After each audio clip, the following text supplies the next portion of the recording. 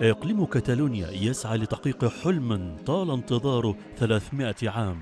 الكتالونيون لا يملون من تحقيق طموح الانفصال عن إسبانيا وتأسيس دولة صغيرة.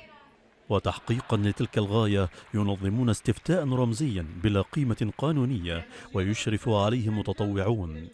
ويسعى منظم الاستفتاء للحصول على ما يكفي من الأصوات للمضي بكاتالونيا أحد أقوى أقاليم إسبانيا نحو الاستقلال ويتضمن الاستفتاء سؤالين هل تريد أن تكون كاتالونيا دولة؟ وإذا كانت الإجابة بنعم هل تريد أن تكون تلك الدولة مستقلة؟ سوف أصوت بنعم? نعم. Bye bye Spain. وقضت المحكمة الدستورية مرتين بإلغاء الاستفتاء بناء على طعن قدمته الحكومة الإسبانية. وبناء على ذلك ترى مدريد في هذا الاقتراع استفتاء زائفا.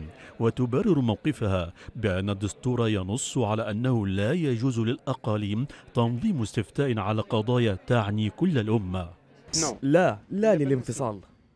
إقليم كتالونيا يتمتع بالحكم الذاتي ويقع في شمال شرقي إسبانيا وتزيد مساحته الجغرافية على 32 ألف كيلومتر مربع كما يتجاوز إجمالي عدد سكانه سبعة ملايين نسمة ويمتلك اقتصادا قويا يمثل نحو خمس حجم اقتصاد إسبانيا. وعاصمة الإقليم هي مدينة برشلونة. كتالونيا ثاني إقليم في إسبانيا يسعى إلى الانفصال إلى جانب إقليم الباسك.